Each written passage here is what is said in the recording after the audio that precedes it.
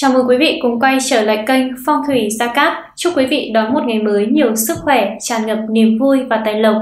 Thưa quý vị, ngày rằm tháng riêng sẽ là ngày đại kỵ với những con giáp này. Vì theo tử vi, vào ngày này các bạn sẽ gặp đủ điều đen đủi từ công việc cho đến tình cảm cá nhân.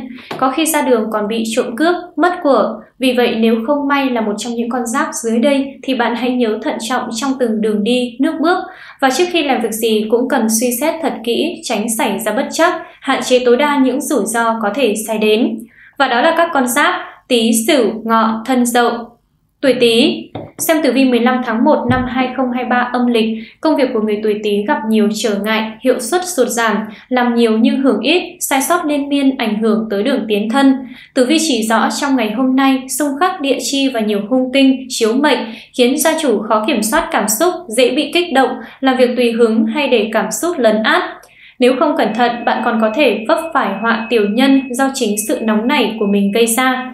Nhìn chung, cơ hội phát triển sự nghiệp, mở rộng làm ăn trong ngày này sẽ không nhiều, nếu có cũng rất nhỏ, không đáng kể. Thậm chí đôi khi bạn còn vì ham chơi, thiếu sự tập trung mà bỏ bê công việc, sẽ bị cấp trên nhắc nhở mà khiển trách.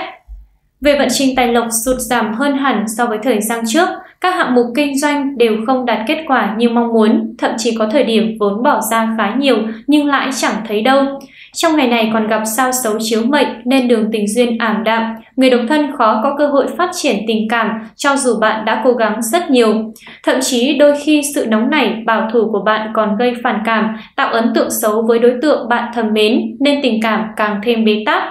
Để được may mắn hơn trong thời gian này, những gia chủ tuổi Tý cần phải luôn mang theo bên mình vòng tam hợp quý nhân thân Tý Thìn để trợ mệnh, hộ thân, giúp thân mệnh vững chắc, chiêu mời quý nhân giúp đỡ, hóa giải những vận hạn đen đủi, từ đó giúp gia chủ thâu thu tài lộc, may mắn và bình an.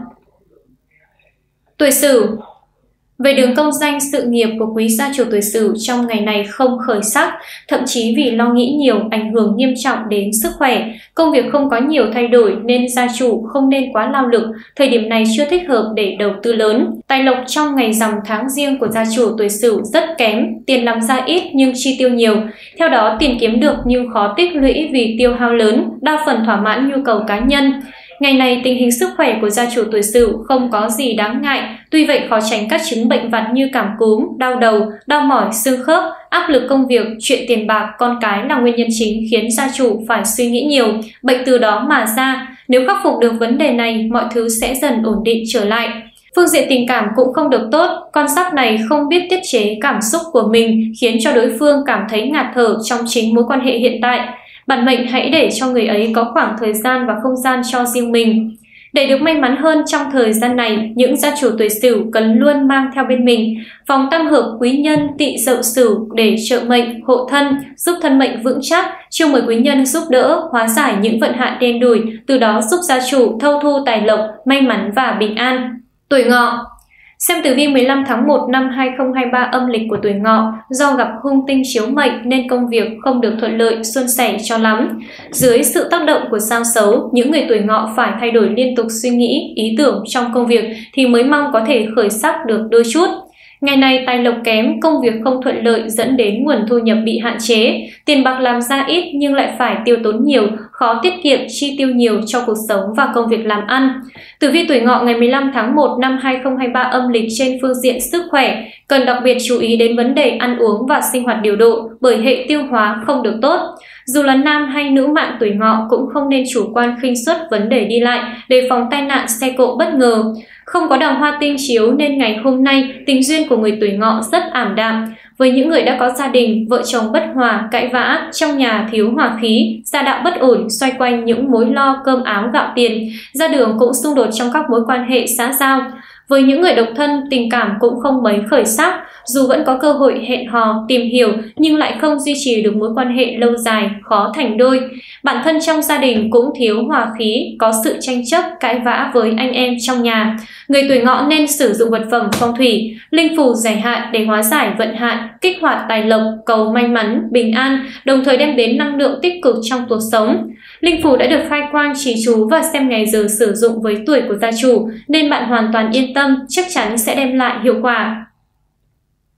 Tuổi thân Ngày rằm tháng riêng, vận trình công việc của những người cầm tinh con khỉ không được mấy suôn sẻ. Công việc kinh doanh dễ thất bát, đổ bể. Thời điểm này các gia chủ tuổi thân chưa nên mở rộng hợp tác, rất dễ bị thua lỗ và phá sản. Trong tập thể, bạn hãy có trách nhiệm với công việc của mình và đôi khi cần bỏ cái tôi của bản thân để lắng nghe ý kiến, sự chỉ bảo từ cấp trên, đồng nghiệp, tiếp thu những điều tốt để hoàn thiện bản thân mình. Vận tài lộc với những người tuổi thân trong ngày không được tốt, tiền bạc gặp nhiều khó khăn và bất lợi, không có tiền dư giả, chỉ đủ chi tiêu trong công việc. Việc kinh doanh gặp nhiều bất lợi, bấp bênh, sóng gió, tiền làm ăn không chịu thu hồi được vốn.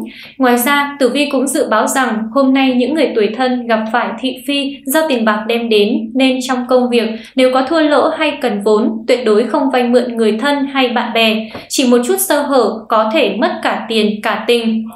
Tử vi tuổi thân ngày 15 tháng 1 năm 2023 âm lịch thấy rằng sức khỏe của gia chủ không được tốt, sức khỏe bị suy giảm do suy nghĩ nhiều và từ căng thẳng nghề nghiệp, đặc biệt là các chuyên gia và người làm trong ngành tài chính, bởi họ có thể phải đối mặt với một số thất bại trong công việc. Phương diện tình duyên cũng ảm đạm không kém, bạn dễ gặp nhiều phiền muộn do tình cảm gây ra. Không những vậy, chuyện tình cảm đôi khi còn ảnh hưởng đến công việc làm ăn. Đối với tuổi thân đã có gia đình thì vợ chồng bất hòa, lục đục, thường xuyên xảy ra mâu thuẫn, cãi vã, khiến cho hòa khí trong gia đình bất ổn. Hãy đứng vào vị trí của nhau để nhìn nhận và thấu hiểu. Nếu cứ giữ cái tôi và quan điểm cá nhân thì tuổi thân sẽ ngày càng đẩy người thân yêu của mình ra xa hơn. Để được may mắn hơn trong thời gian này, những gia chủ tuổi thân cần luôn mang theo bên mình vòng tam hợp quý nhân thân tí thìn để trợ mệnh, hộ thân, giúp thân mệnh vững chắc, chiêu mời quý nhân giúp đỡ, hóa giải những vận hạn đen đủi, từ đó giúp gia chủ thâu thu tài lộc, may mắn và bình an. Tuổi Dậu trong ngày rằm tháng riêng, người tuổi này cần lưu ý hơn đến các mối quan hệ xã giao, nên dĩ hòa vi quý là hơn, đừng vì chuyện nhỏ mà phát sinh mâu thuẫn, cái cọ với đồng nghiệp.